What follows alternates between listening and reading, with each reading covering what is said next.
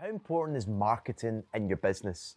Well, it's incredibly important, and let's break it down because one of the most common things I hear, especially with people that's in business, is that they're asking questions such as Should I be setting a budget for my marketing, and what should that budget be? Now, the word budget should not exist when it comes to marketing. Because your goal as a business owner is how can you invest see how I changed the word from spending money on marketing? How much more can you invest in your marketing strategies in order to produce more business for the company? So I'm going to give you an indication on a percentage of what that should be, and it's going to frighten a few of you without a shadow of a doubt, especially for those that don't spend money on marketing.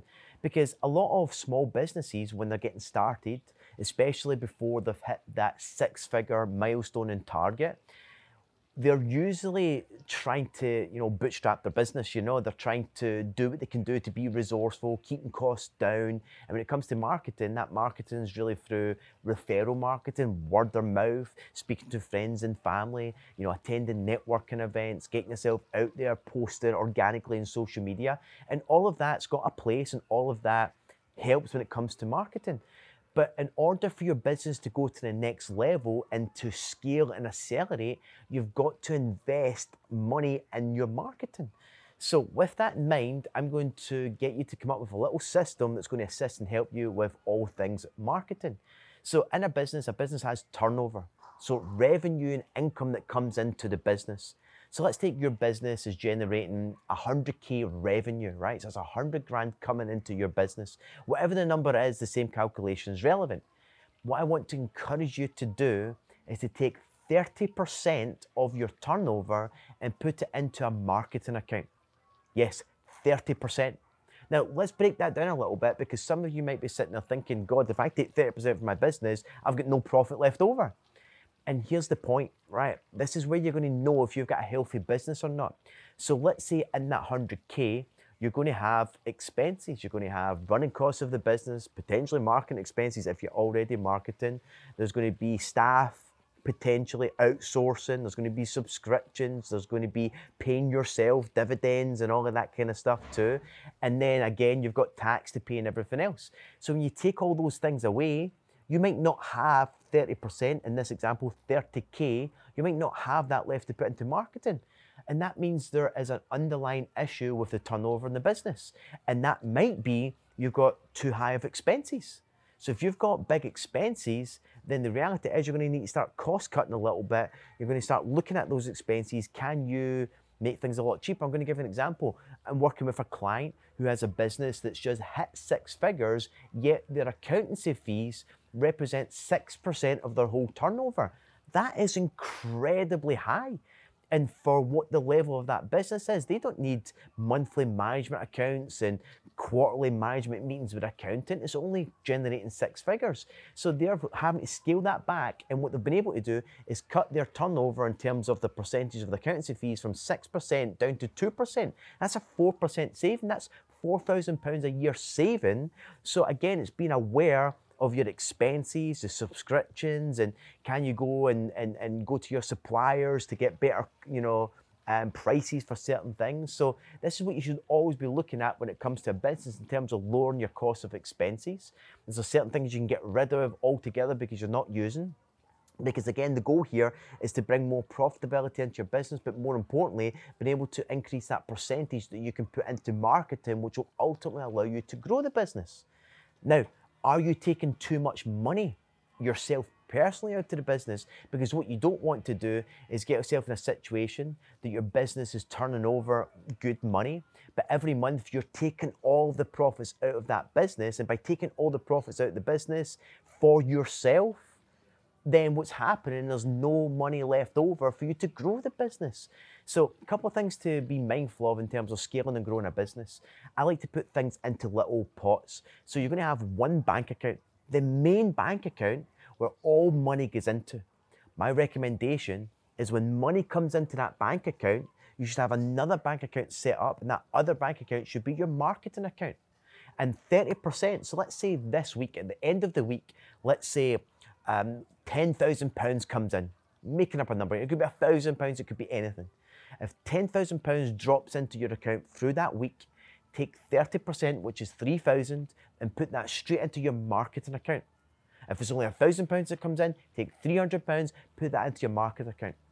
Also, you should create another account, which I call your team building account, which should be 20% of your turnover. So the same example, if £10,000 comes in, take 20%, in this example, 2,000, put that into your team building account.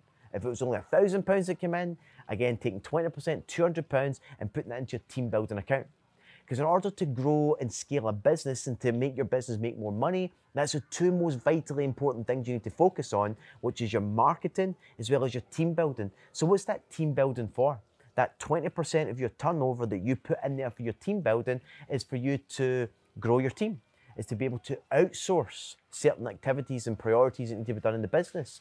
It is to pay someone else a salary to come on board to work in your business. And as your team building account starts to continue to grow, you're going to have surplus money in there to employ new staff members, to put into outsourcing, which is ultimately going to help you leverage your time to focus on the more important tasks, the priorities, high priorities that you can help grow the business. This is where you're starting to transition from working in to working on the business when you start to build a team. The 30% when it comes to marketing now, we're going to talk about that, the types of marketing you should be putting that money into. Now that leaves 50% in the business, in your main account. And that's where you've got to pay all your subscriptions, all your expenses, all your expenses and running costs, as well as paying yourself. So if you, once you pay yourself, don't have that left over, you're paying yourself too much. You need to stop taking all your profits out of your business, go back to grassroots so you've got money to grow your business. One of the most common things I hear from people is, how can I scale my business? And unfortunately, you don't have a business to scale because you don't have those little pots, those extra accounts to have money for marketing, to put into marketing, to bring in more clients, to bring in more income for your business to scale. And you don't have a team that you're building up that pot of cash to build a team. So it's impossible to scale your business. You don't have systems in place. You don't have the fundamentals in place. So that stuff's incredibly important. And if you start to get this system in place, it's going to change everything for you. So what do you do with that 30%? Let me give you a high level overview when it comes to marketing. All right. You can put that into digital marketing, Facebook ads, TikTok ads, YouTube ads, any digital platform, Instagram, you name it. Again, that will generate more income. You can also then put that into brand building, building the business brand, building your own personal brand, putting yourself out there more. It could be PR agencies that you invest in. It could be physical things that you do in terms of creating brochures that you can send out to your clients. It could be letters you post through. It could be anything that's marketing related. It's a whole subject and a topic in itself. But once you start to understand marketing and knowing the strategies and the marketing strategies you should be applying, you've got a 30% of your turnover to go and put that to work. And my goal with my companies is to try and invest, remember that word, invest as much as I possibly can into marketing. And if you've never done any of that stuff before, this is when it gets a little bit scary because it's like, wow, I've never invested a few thousand a month in marketing, let alone 30% of my turnover. It's not need to take all that and throw it into marketing. It's you've got the marketing account there that's building up for you to test and measure things, to invest in marketing, to see what works, to tweak things, to improve it. And once you get something that hits and is a winner in terms of your social content or your brand building or various methods that work for you, then you can go all in now that you've built up that war chest of marketing to keep on growing the business. So a lot of things to take on board. If you've got questions on marketing, scaling a business, or some of the things I spoke about, drop it in the comments. I'd love to hear your thoughts. Happy to answer any further questions you've got. And as always, my goal here is to bring value, support you guys in your own personal journey. So make sure you subscribe to the channel, hit that notification bell for when we drop content. And as always, I respond to your comments, so drop it in the questions. And I look forward to seeing you guys again. Cheers and all the best. Thank you.